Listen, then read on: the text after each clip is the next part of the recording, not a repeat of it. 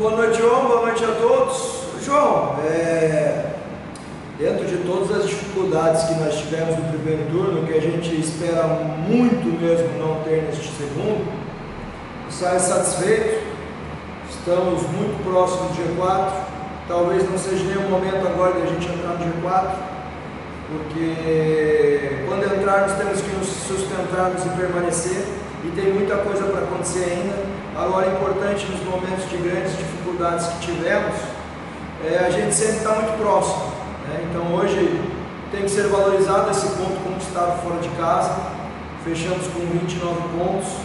E, e a gente tem que pensar muito jogo a jogo. É claro que a gente começa a projetar situações futuras, mas não adianta. É, é rodada a rodada, a gente tem inúmeros exemplos aí de, de, de, partidas que talvez a gente considere que ganha e não ganha, talvez a gente vai desacreditado para algum jogo e ganha, então a gente tem que focar ao máximo sempre no nosso próximo adversário. É uma competição muito pesada, muito difícil, de grandes confrontos, como foi hoje aqui. E de um modo geral saio satisfeito, saio orgulhoso, porque a gente está muito na briga, muito no páreo. É, uma vitória e permanecer uma sequência sem perder, que eu não tenho dúvida alguma que a gente vai subindo rodada a rodada.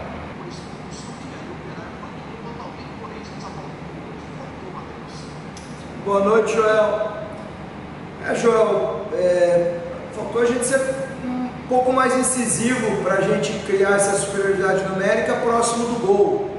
Acho que a equipe do CRB teve muito mérito porque praticamente abdicou de atacar, só atacou nos nossos erros em contra-ataques, principalmente no, no, em cima do Jajá, que estava numa noite muito feliz, e estava aguardando o nosso erro. Então eles, eles deixaram de, apesar deles estarem com um a menos, eles, como praticamente ficou os nove atletas próximo à área, nas duas linhas de quatro e somente um na frente dessas duas linhas, muito próximo da grande área, eles praticamente não, não se percebeu que eles estavam com a menos, porque eles praticamente abdicaram do jogo com bola e ficaram bem postados taticamente na frente da área, o que dificultou muito nós, que a gente tentava por dentro, tivemos muita dificuldade, pelos lados eles faziam um balanço muito rápido, as nossas penetrações para a gente tentar criar superioridade, talvez não, não tivemos muito ênfase nisso, e daí eu priorizei nos últimos 10 minutos finalizações de média e longa distância, tanto que eu posiciono o Silva por dentro, porque talvez é um dos nossos melhores finalizadores de média e longa distância. Porque eu estava vendo que a gente estava com muita dificuldade para penetrar por dentro, para criar superioridade pelo lado, muito mérito da forma defensiva do CRB.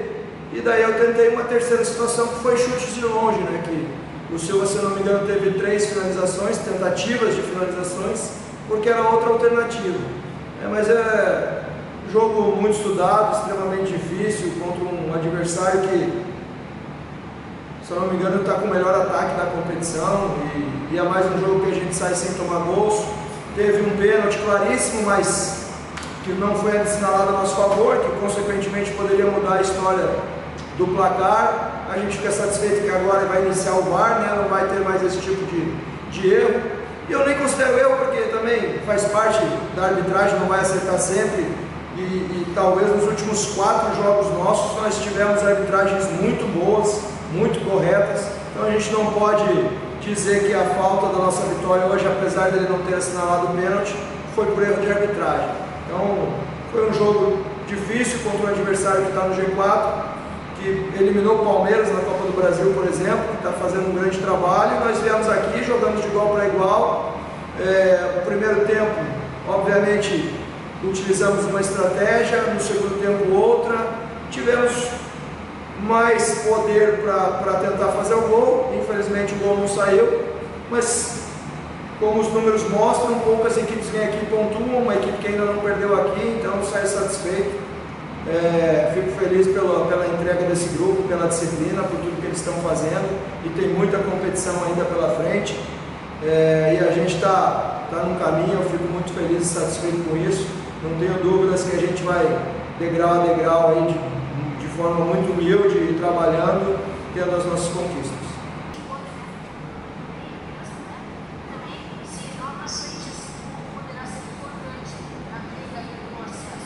Certo, Letícia, boa noite.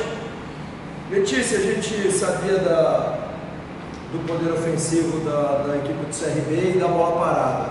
Do CRB, vou dar só um exemplo claro, o último jogo venceu por 3 a 0 o Brusque aqui com 3 gols de bola parada. Então tem excelentes batedores. É, o Bressan dispensa comentários na batida dele, se não fosse ele seria o Diego Torres, que também dispensa comentários. A única diferença é que um é canhoto o outro é destro, mas é perigosíssima a bola parada deles. E jogadores de um poder aéreo muito forte, o Júnior Brandão, o Gum, o Caetano, então, e é uma arma fundamental deles. Além disso, é uma equipe que explora muitos lados do campo, porque tem beiradas e laterais muito ofensivos que estão vivendo um momento muito bom com uma confiança muito alta.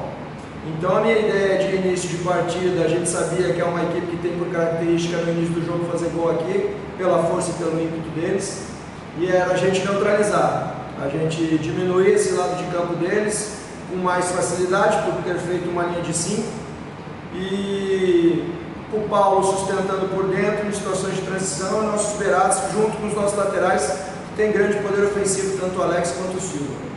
Eu fiquei muito satisfeito no primeiro tempo pelo nosso comprometimento e comportamento sem bola, porém acredito que deixamos a desejar com bola, o que criou a minha situação de voltar às duas linhas de quatro, a centralizar o Tomás e fazer uma variação 4-2-3-1. Então, pelo nosso momento com bola, que a gente, a nossa ideia era criar uma construção de saída de três com os três zagueiros, o Alex e o Silva criar bastante jogo ofensivo pelos lados bem abertos, com o Oller, o Tomás e o Paulo por dentro, e o Vilela e o Marcelo Santos fazer essa construção em passes por dentro. Acho que a gente não estava no primeiro tempo feliz tecnicamente, porque a gente conseguia envolver eles na construção de saída de três. A partir desse momento, quando entrava um passe para frente, a gente errava domingo, a gente errava passe, errava inversão de jogo o que fez com que a gente tivesse dificuldade a ficar com bola. Depois, quando e, e, e, também a gente tem que entender que é muito pouco tempo de treino, de preparação. A gente o, único dia que eu consegui treinar isso, a gente deu bastante ênfase sem bola e com bola muito pouco, porque não se podia treinar foi ontem, jogaríamos hoje.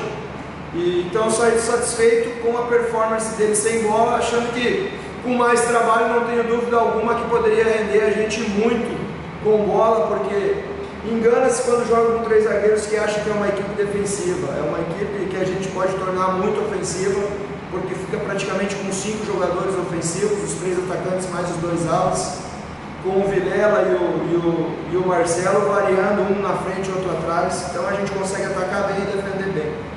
É, depois do segundo tempo, eu dei ênfase a isso. Estava muito preocupado, que a gente estava muito bem sem bola, mas tinha que querer ficar com a bola. E por isso que eu ia retornar ao 4-2-3-1 e obviamente eu pensei nos três zagueiros quem já tinha tomado amarelo para a gente se precaver com essa situação que o, é característica do, do, do, do Alexandre, do árbitro é, amarelar o jogador por é, contra-ataque, por esse tipo de situação, então eu precavi, visualizei uma situação é, desfavorável do Alemão que já tinha amarelo, coloquei o Fabiano, que é um cara que compõe muito bem a linha de quatro, para dar mais liberdade para o Silva. Né? Em uma situação de contra-ataque a gente acabou ficando com uma mais, que foi nítido esse segundo amarelo, é, e a gente controlou mais a partida a partir desse momento com bola. Mas a gente fica é, lamentando por esse, esses 30, 35 minutos com uma mais a gente não ter convertido em gols apesar de ter criado situações é, para isso acontecer. Mas também a gente tem que analisar que a gente jogou contra uma grande equipe e fomos superior a essa grande equipe, o que mostra a qualidade dos atletas que nós temos e que nós produzimos em jogo. Saio muito satisfeito porque é uma partida fora de casa. Se a gente fizer valer o nosso mano de campo nesse segundo turno e continuar somando fora de casa, a gente conquista o nosso objetivo. Então, é, 29 pontos é uma boa pontuação, que é estar tá no bolo, estar tá na briga, e a gente tem que manter esse nível. Quatro jogos sem perder, isso é muito importante, a gente está pontuando, porque é uma vitória nos dá três pontos, nos, recoloca em uma posição muito excepcional na disputa por esse G4, e é isso que a gente tem que pensar. A gente tem que estar tá brigando até a 30 até a 32 rodada, para as últimas rodadas a gente ir com tudo para buscar realmente esse acerto, que é o que todo mundo espera, uma competição que tem muitas equipes nessa mesma situação que nós, e o mais importante é a gente não estar tá perdendo fora de casa e procurar sempre vencer em casa, para a gente estar tá se posicionando cada vez melhor na classificação. Boa noite, Marcos. Sem dúvida alguma existe. Só que a gente, infelizmente, na Série D, Marcos, a gente não consegue treinar muito, né? Vou dar um exemplo. A gente, ontem, ontem viajamos o dia inteiro, não teve treino. Ontem teve o desgaste de 48 horas antes da gente estar jogando contra o Brusque e um jogo no dia seguinte. Então, se treina, se treina muito pouco. É muito vídeo, visualização e no campo uma situação muito mais parada que não se torna muito real ao jogo. E, mas completamente possível no decorrer de outras rodadas a gente fazer isso. Até porque a gente tem que aproveitar, Marcos, eu penso assim, o, o futebol com jogos em sequência tem desgaste e a gente tem que aproveitar o momento bom dos atletas. E se a gente parar para analisar, Fábio Alemão, Renier e Filemon estão vivendo um momento muito bom. Então a gente tem que aproveitar também os atletas que vivem momentos bons. O Silva de um lado, o Alex do outro, tanto que quando eu vi que talvez a gente precisasse melhorar o nosso nível de posse de bola, eu já botei o Fabiano, que é outro que vive um bom momento. Né? Então a gente precisa estar tá, é, dando a oportunidade para quem está confiante, para quem está vivendo momentos bons. E isso é uma possibilidade real para as próximas partidas também. Eu só fico é, é, lamentando porque a gente não consegue treinar. Eu não tenho dúvida alguma que se a gente conseguisse treinar, a gente seria muito mais incisivo, teria muito mais poder ofensivo, porque isso nos dá margem para a gente atacar muito bem também.